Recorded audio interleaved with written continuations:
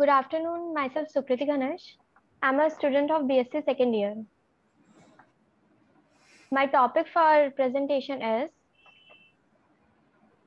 unconventional method for developing latent fingerprints.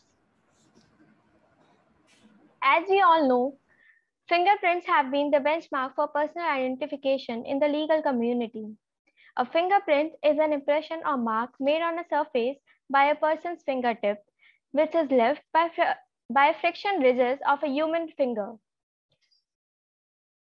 Fingerprints are of three types, latent, patent, and plastic. Latent, the invisible ones. Patent, the visible ones, generally made by blood, ink, etc. Plastics, the prints on soft surfaces such as paint, wax, mud, etc. According to the father of uh, fingerprints, Sir Francis Galton, fingerprints are classified into four patterns, arch, loop, whorl, and composite ones. Arch. In this pattern, ridges enter from one side of the impressions, form a wave, and flows out from the other side.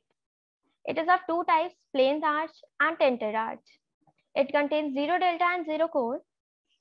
Loop. In this pattern, ridges enter from one side of the uh, one side, forms a recurves and flows out from the same side. It also contains two types, ulnar loop and radial loop. These names are derived on the basis of the bones of our forearm, that is ulna and radius respectively. It contains one core and one delta. Third, whorl. In this pattern, ridges forms a circular or spiral pattern. These are also of two types, spiral whorl and concentric whorl. It contains one core and two deltas. Then comes the last one, composite pattern, under which four different types of categories are derived. First one, CPL, central pocket loop. Combination of whorl and loop. Third, second and third lies under the category of double loop, lateral pocket loop and twin loop. Then comes the accidental, where no such category is derived. Study of fingerprint is known as dactyloscopy. Lateral fingerprints are developed by two methods, physical methods and chemical methods. Chemical methods are uh, generally used, chemical methods where chemicals are used to develop lateral fingerprints. For example, iodine fuming and ninhydrin. Physical methods involve the use of powders Physical methods can be of two types, conventional and unconventional.